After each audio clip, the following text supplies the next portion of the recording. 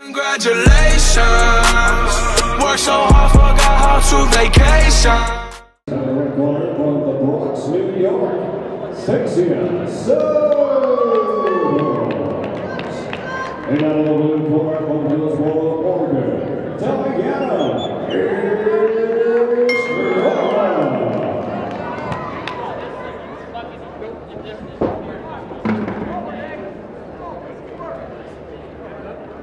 And now, ladies and gentlemen, to ring number three, ring number three, middleweight comer from El Paso, Texas, Veronica Rodriguez. And in the blue corner, right from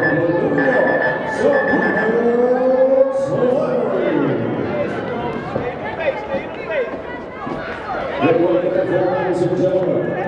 Right corner, from Sparks, Nevada,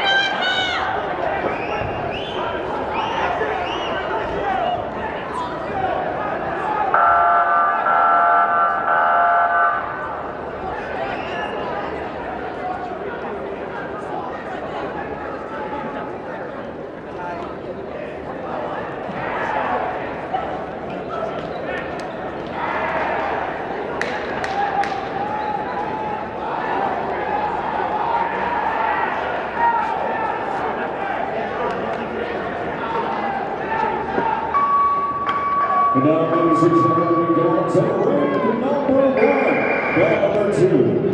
Introducing first, boxing of the corner from Dallas, Texas,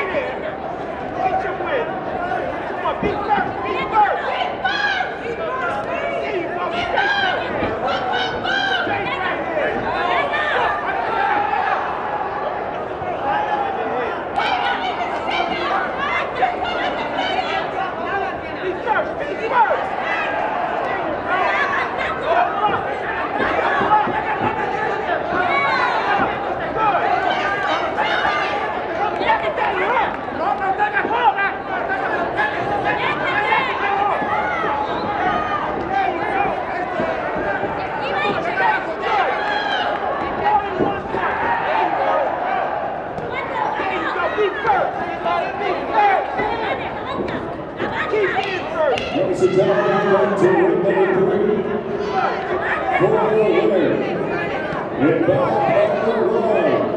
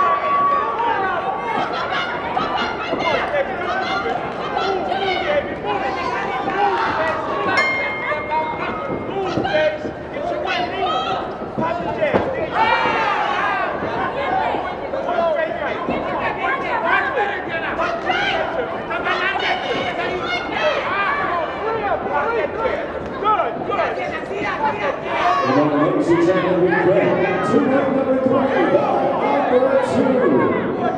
Introducing first, Bob Smith, Bob Smith,